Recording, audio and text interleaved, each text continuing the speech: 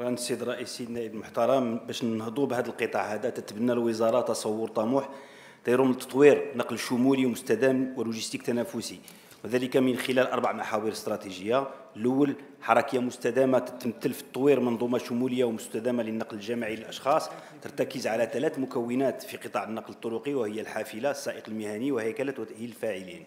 ثانية لوجستيك تنافسي عبر تسريع وتيرة تهيئ المحطات اللوجستيكيه وأيضا تأهيل قطاع نقل البضائع من خلال تفعيل الأوراش الناتجة عن الحوار مع المهنيين. ثالثا تحسين الحكمة داخل القطاع مع تاهيل وتطوير الترسانة القانونية المنظمة لأنشطة النقل الطرقي ومواصلة الحوار القطاعي مع المهنيين. والرابعة تعزيز قدرات دور الإدارة وجعلها أكثر انفتاحا وقربا على المرتفقين من خلال تسريع التحول الرقمي وتأهيل الموارد البشرية. وشكرا.